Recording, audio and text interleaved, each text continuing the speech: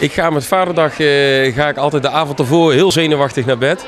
Omdat ik in de ochtend gewekt word door mijn dochter die dan een ontbijt gemaakt heeft. En die altijd het cadeautje van school bij zich heeft. En dat vind ik altijd het meest bijzondere moment. Ik ben niet zo van de vaderdagen en de moederdagen. Maar het feit dat die kinderen dat op school knutselen, dat raakt me altijd enorm. En dan met zo'n heel lief vertederend gedichtje. Dus eh, vaderdag vind ik wel een heel bijzonder moment. Met name voor de vader-dochterrelatie.